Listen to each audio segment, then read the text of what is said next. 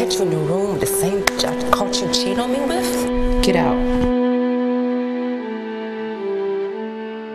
YV, good looking now, homie. Look, dog, I'm at the liquor store right now, alright? I'm gonna go over there, pick up a couple bottles. I'm gonna call the boys. We coming through, dog. I got you. This here is a one hitter quitter, which means that you only have to hit it one time and you're feeling good the whole night.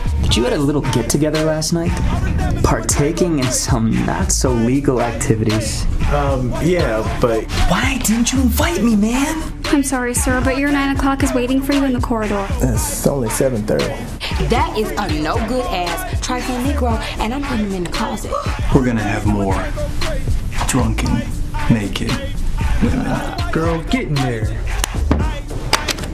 I can explain. The big black one is angry. It's like it's Darth Vader. You have failed me for the last time.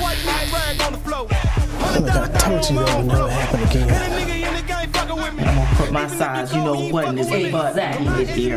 You just like every other loser out here. Trust me, you don't want to know. Unless you would like to come in here with me. You know I'm taking your spot, right? Yeah, that's right. She's taking your spot. What is wrong with you chicks? Y'all been smoking rocks.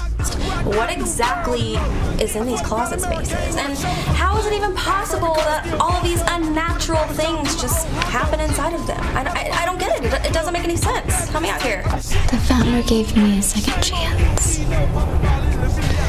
He will give you one too. Let's leave it in the closet.